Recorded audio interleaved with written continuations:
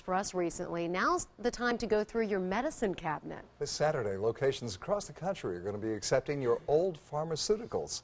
News 5's Valerie Beatty shows us why it's a good idea for everybody in the family. We use drugs for many things headaches, body aches, post surgery.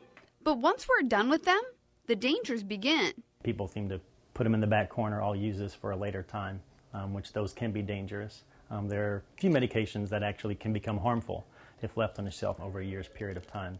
Dr. John Barash, a pain management physician, says drugs for one person can do more harm than good for another. Anyone that gets into the medicine cabinet would think, hey, it's a pain medicine, and they just take it for their not as severe pain, and they get more of the side effects, which is, um, again, can be deadly. So, folks in Butler County are trying to prevent these accidents by taking back your drugs.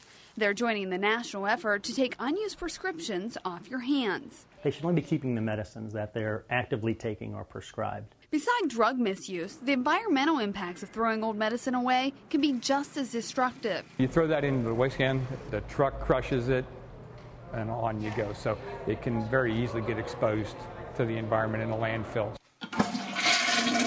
And as for flushing pills down the toilet, a definite no no. They don't remove uh, the pharmaceuticals from the waste.